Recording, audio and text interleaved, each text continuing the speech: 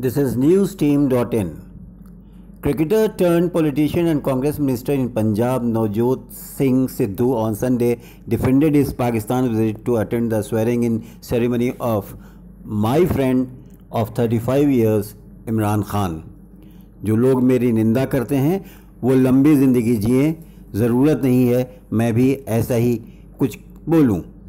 Those who are attacking me should life long it is not that I should also react angrily, Mr. Sidhu told reporters.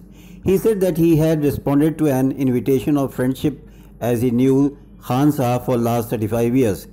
We have inter- interacted in the playground on daily basis. We have done commentary together. It was a call of friendship that should not be seen with a narrow prism, said Sidhu who has been with BJP and also a Lok Sabha member of parliament for the Saffron party.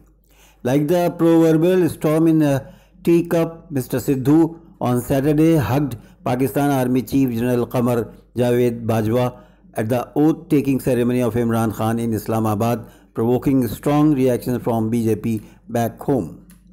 BJP spokesman Sambit Patra addressing a press conference here also took exception to the fact that the Punjab minister was made to sit next to president of so-called Pakistan-occupied Kashmir POK Masood Khan at the swearing-in ceremony in the Aiwan Sadr Hall of Pakistan President's House.